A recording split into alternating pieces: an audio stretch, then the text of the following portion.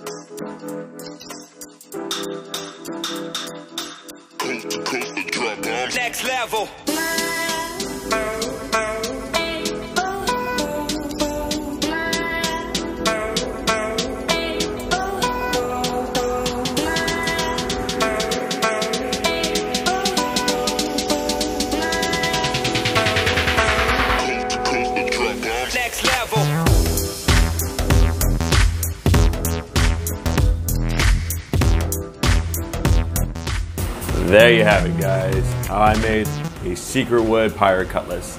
I think this came out beautiful. It's probably my best work yet. I love the pattern that I, I was able to get inside the blade itself. Um, what I was trying to go for was a ocean kind of motif. So like the blue and the white, kind of simulating you know crashing waves and swirling water patterns. Uh, particularly like this pattern up top here, and then on the other side, the blues and greens, kind of tropical ocean, um, like you see like sometimes down here in South Florida or like in tropical islands. Really beautiful, pr- really pretty stuff. The the handle itself, uh, or the D guard, I should say, is made. This is all made on entirely of teak. So I was able to, you know, I glued this together, and what you probably didn't see in the video, I cut some wedges and, you know, glued those in there to give it a really strong, you know, strong hold, strong bond. Uh, I use this brown, uh, this reddish brown leather to wrap the handle, and then I also, you know, put a little bit of filler in there because the fit wasn't quite as tight as I wanted, so I wanted to make sure to fill in all those gaps. But after I painted it, it helped to fill in a lot of those um, crevices and you know make it look a lot smoother. But this is a beautiful sword. Um, probably one of my best yet. I think what I'll do for this one next personally is to make a, um, a sheath for it so it's one complete you know set. And then I can wear this around the Renaissance Fair, man. This is this is gonna be awesome. But thank you guys for watching. If you like this, be sure to give it a big thumbs up. Leave a comment down below what you like or what you didn't like. If you didn't like anything, I'll be sure to like. I be sure to read all of them. I take constructive criticism. I know I'm not perfect. Nobody is. So anything that you can say that help me be better, I appreciate all the time. And also, if you like this video, you want to see more like it, I have a whole playlist called Wooden Weaponry and also Secret Wood um, Epoxy art that I'll put this in as well.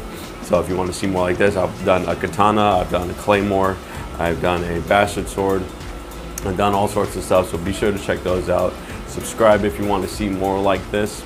And also be on the lookout for ne my next project. It's going to be another sword. Uh, That's going to be a custom order for a good friend of mine. I'll go over that later in the video itself of the inspiration behind that.